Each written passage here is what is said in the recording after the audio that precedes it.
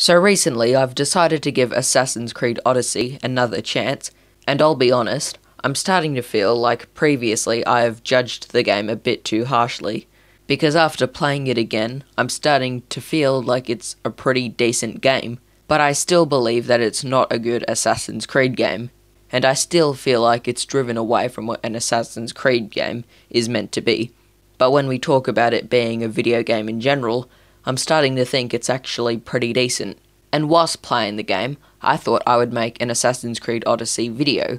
This is another video game opinion video, and the opinion in this video is why you should side with Sparta in the Peloponnesian War.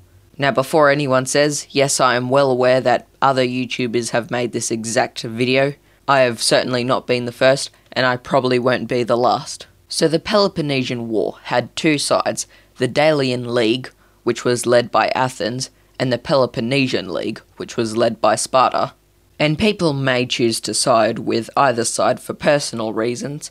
Sparta, because, spoiler alert, that is the homeland of the protagonists, or Athens, because, another major spoiler alert, it wasn't Athens that threw you off a cliff when you were a child.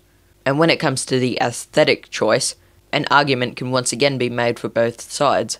For Sparta, it's no secret that they were the land of the warriors in the Greek world, whereas Athens was the homeland of the greatest minds and philosophers in not just the ancient Greek world, but the entire history of the literal world in general. But in this video, I'm not going to be talking about either of those points.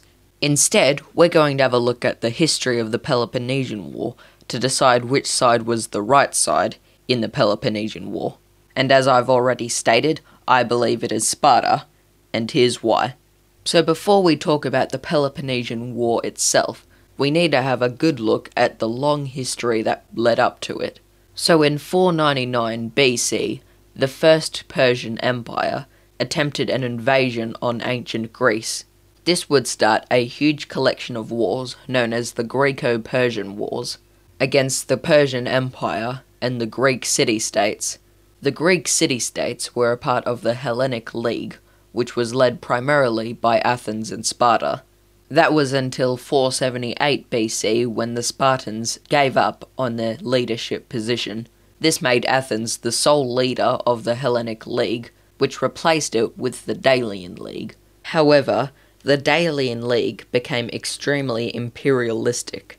Athens had much direct control over other member states, and accumulated a large income from tributes from said member states, which was used to pursue solely Athens' interest rather than the Delian League's, including greatly improving the Athenian navy. Sparta and its allies, which were known as the Peloponnesian League, started to become very suspicious of Athens as it became more powerful and had ambitions to expand its league. This caused Cold War between Sparta and Athens, which finally started to get hot during the First Peloponnesian War, which started in 460 BC, in which Athens usurped Aegina into the League and attempted to do the same with Megara.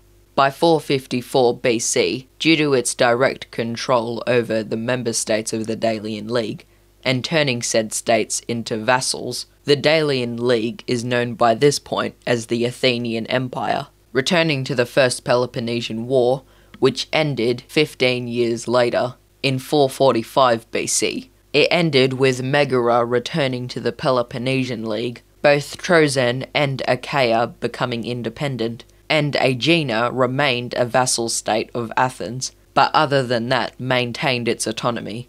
And since Sparta and Athens still held a common enemy, the Persians, they both decided on a peace treaty known as the Thirty Years' Peace. The reason it was called that was because the treaty was supposed to last 30 years before its expiration, but in reality there wasn't any real peace, as the two would continue to support their allies' fight against each other in proxy wars. And despite that it was supposed to last for 30 years, the treaty only lasted 14, because the year 431 BC was the beginning of the Second Peloponnesian War. And since this is the much more significant war, This one is simply known as the Peloponnesian War, which was caused mainly due to tensions between Athens and Peloponnesian League member Corinth, who convinced Sparta and the other allies that Athens was a threat. This war lasted for 27 years and resulted in at least 20,000 deaths, but more accurate numbers are unknown.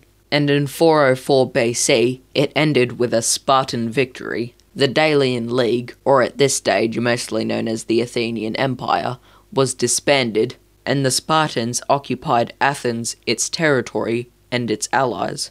So now that we've gone over the history of the Peloponnesian War, as well as the history that led up to it, here's why Sparta would be the right side. Now, although both sides went against the Thirty Years' Peace from time to time, the violations made by Athens were much, much more severe.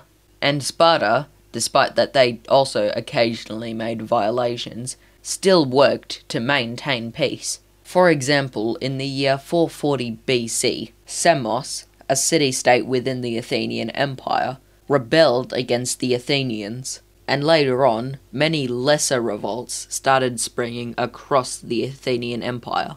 The Spartans knew they could aid these rebellions as a means to indirectly fight against what they still considered an enemy, but they knew that doing this would break the peace and lead to a direct war, so they decided to not get involved. The Athenians, however, rarely showed that same respect. For example, in 433 BC, the Peloponnesian state of Corinth tried to retake its colony of Corcyra which after rebelling against Corinth became a neutral state.